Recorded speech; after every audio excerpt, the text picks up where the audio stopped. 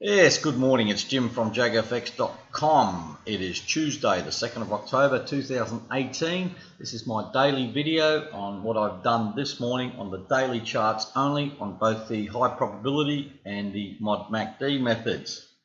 Fairly quiet start for a Tuesday. Let's have a quick look at the charts. We'll start with the high probability uh, two new trades this morning actually, so let's have a look. Euro yen was the first one.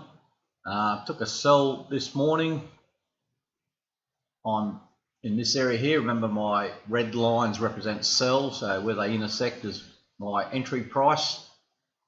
Um, you can see, I'll just short this a bit. Price has been at a previous high, so you could say a resistance level, I guess, or a double top. I would probably call it more of a resistance level.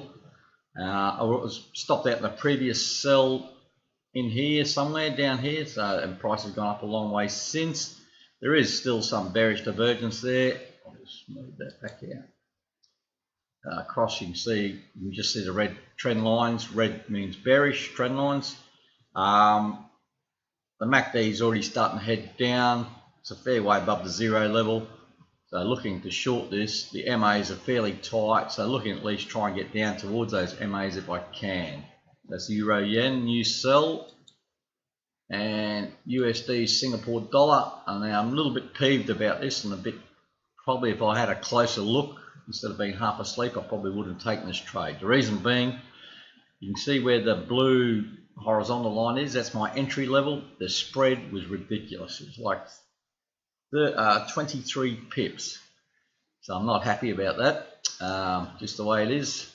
So technically I have to make up 23 pips just in the trade just to get the break even. So I wouldn't have taken that, but I was half asleep just first thing in the morning, wasn't really concentrating. But anyway, there's a, a support level down here in this blue aqua line. Um, it's a valid buy signal. You can see the MACD is below the zero level. Price came back to the MAs. So just probably looking to take it up to this previous high, if nothing else. But I just want to make up that spread. I'm a little bit peeved about that, but that's just the way it is. That's Euro Singapore dollar. And I checked on a couple of platforms and it was the same on both. All right, let's just move over to the daily mod MACD. I'll just have a quick look. A um, couple of things, news.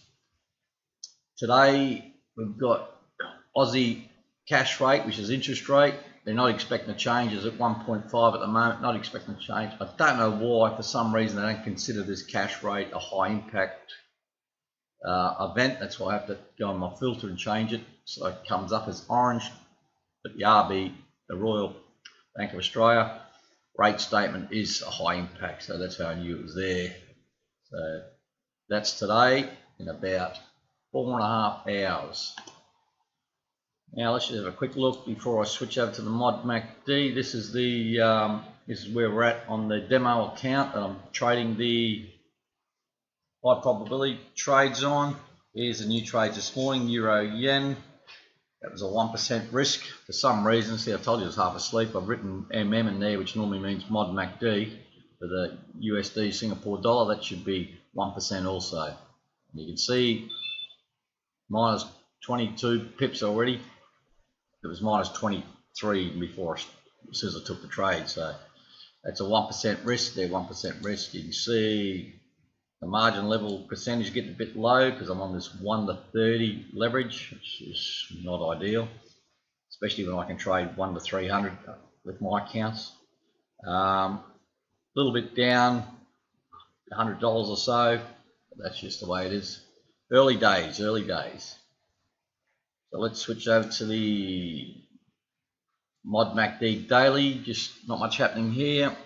One new trade on the pound dollar, new sell. So on the pound, took a new sell this morning.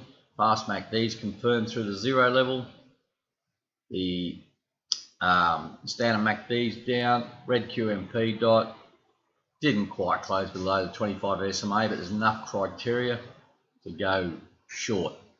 I get a lot of questions about these green and uh, red and green dots on the fast MACD. I've explained it a few times. I'll just reaffirm, this is a custom indicator from um, Jennifer at simplycombo.com. That's simply as an S-I-M-P-L-Y combo C-O-M-B-O dot com. Look, I had to buy them, so I can't really give them away for free. Um, they're just a visual aid. They're just they just show the cross. They're not perfect because sometimes they they present. Then if the cross actually doesn't take place, they remain on the chart, so they're not perfect. But uh, you can get her other indicator called a Pure Hopper, I believe, Pure Hopper, H O P P E R. It's free. Instead of putting the dots on the chart like this, all you do is modify it to suit these settings and it puts arrows on the actual price chart. Do you guys already know about this. If you want more information, just drop me an email and I'll get it to you. But I can't give you this one unless you buy it yourself. It's not mine to give. All right, so it's a pound USD and the other one was the CAD Swiss. We're in a good buy here, back here. Burst straight through the 240 LMA, gone up nice and high now, up near this previous high. So this morning I've closed one third of my trade and set a stop now down here at 0.73927. So taking a bit of profit there, it's about 180 pips or so, and putting the stop in place. And we've still got two thirds of that buy trade left. All right, guys, I think that is it. Like I said, fairly quiet start to the day. Be careful about Aussie news if you're in Aussie pairs, interest rates. Other than that, thanks for watching. Thanks for subscribing. If you haven't done so, please do it.